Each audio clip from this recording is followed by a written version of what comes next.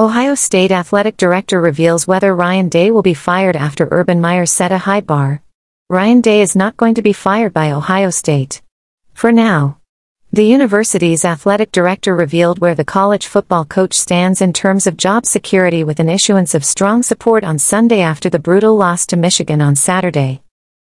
Although this should not come as a surprise, given the time year, it is wild to be having this conversation about a program that is highly unlikely to miss out on the college football playoff regardless of what happens in the Big Ten championship.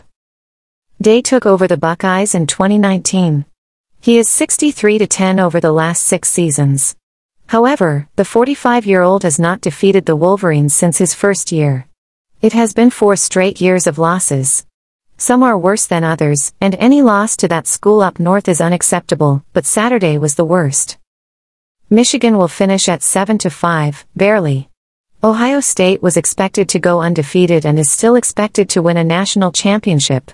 Urban Meyer and Jim Tressel, the two predecessors today, offered high praise for the roster prior to the season.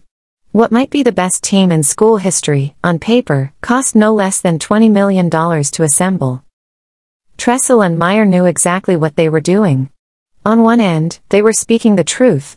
On the other end, they wanted to establish the expectation for Day and turned up the pressure.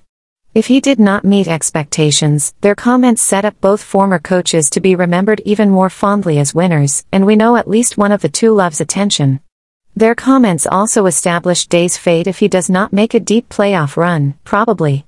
It is increasingly unlikely that he returns for 2025 if the Buckeyes don't win the national championship or at least make the championship game.